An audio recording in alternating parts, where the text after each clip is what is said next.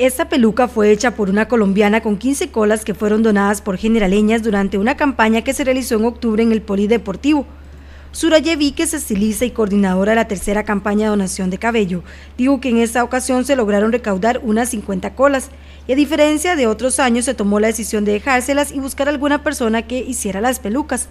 El costo de esta peluca fue 50 mil colones ya cuentan con esa primera, la cual darán a la Asociación de Sobrevivientes de Cáncer de Seno de Pérez Celedón el próximo domingo 17 de enero durante la realización de la campaña de donación de cabello en el Parque de San Isidro de El General. Eh, tener ya el cabello, dejarnos el cabello de la última donación de cabello que fue la que realizamos en el Polideportivo y entonces se recogieron 50 colas, esas 50 colas conseguimos el contacto en San José, una señora eh, que eso fue así como por obra y gracia del Espíritu Santo que llegó la información a este salón de que había una señora en San José que podía hacer las pelucas, porque por más que tratamos de investigar, no, no, no, no sabíamos dónde podían, dónde podían hacernos las pelucas. Y gracias a Dios apareció esta señora, una colombiana, que es la que nos está elaborando las, las pelucas en este momento. Entonces, tienen su costo. Cada peluca cuesta 50 mil colones, aparte que le llevamos el cabello que, que, que, nos, que hemos recogido de las donaciones.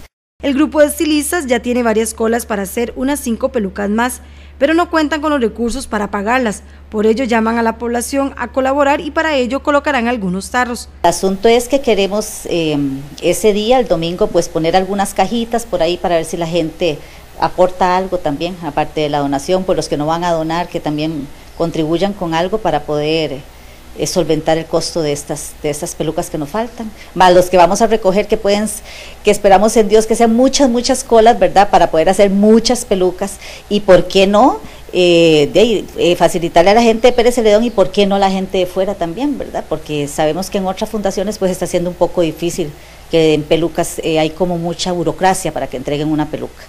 El objetivo es que las personas que tienen cáncer de seno puedan contar con una peluca.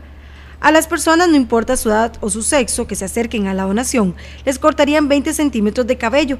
Recuerde que donar cabello es un acto de amor. El cabello es donado por los generaleños y generaleñas y va a quedar en nuestro poder también. O sea, somos nosotros los que estamos administrando ese cabello y los que sabemos de antemano cuántas colas hay, cuántas pelucas nos pueden salir. Entonces, pues ya eso es eso es pues una gran noticia para la gente del pueblo de Pérez Celedón, ¿verdad? Que ya somos nosotros los que estamos trabajando directamente con las colas que recogemos. Cabe indicar que el domingo también será la sexta campaña de donación de sangre, la cual se llevará a cabo en el complejo cultural.